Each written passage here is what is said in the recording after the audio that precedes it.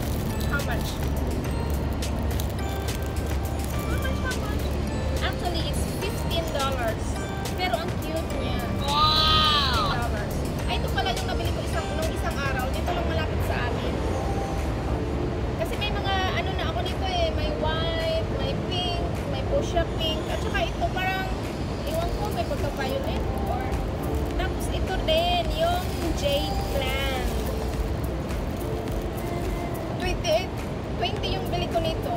Tapos ito naman is $8. Dito, dito lang sa top. Sorry. At yung isa ko namang nabili is ito. Nagaya siya nito. Pero peach yung kulay niya.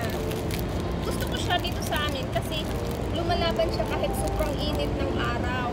Rooftop lang kasi dito eh. Tapos ano siya sa araw. I, I mean, napaka dito, lalo na pag summer. Tapos itong halaman na to is talagang lumalaban siya sa mainit. So ito is pareho sila. Pero ito 28 tapos ito 15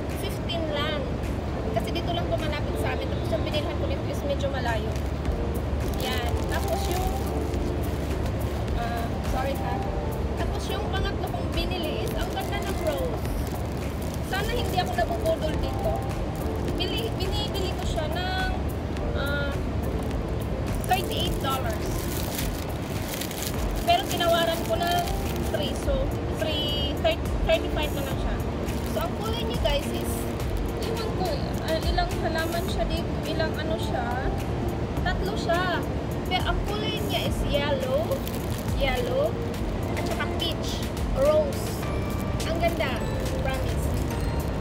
Yan. Tapos, ang pinunta ko talaga doon is yung bala kong bibilhin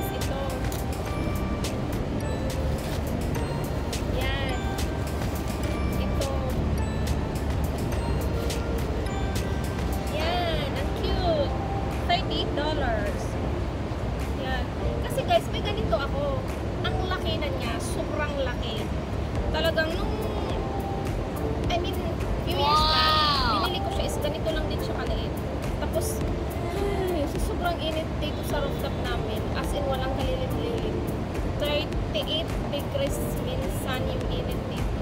Hindi pala siya pwedeng ilagay sa ganun na direct to the sunlight. Mamamatay pala siya.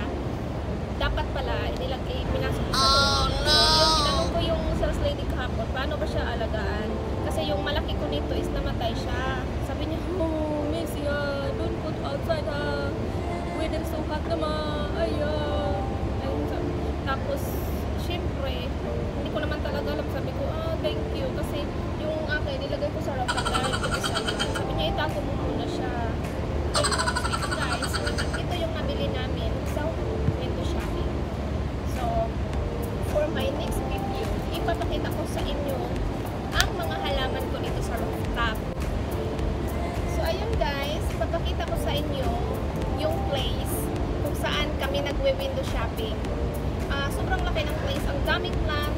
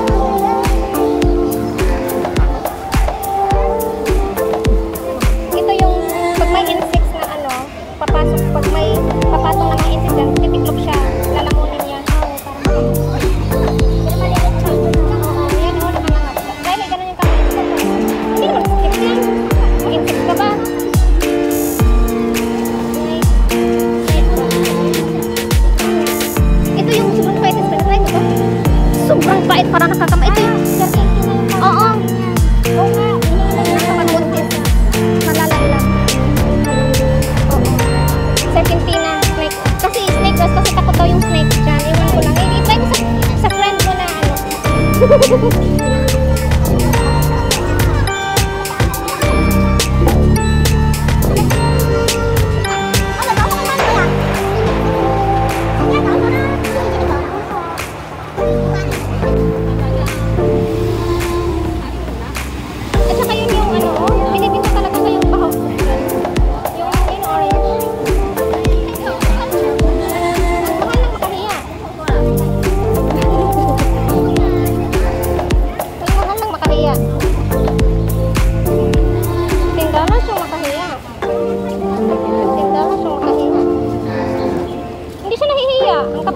Ha ha ha ha!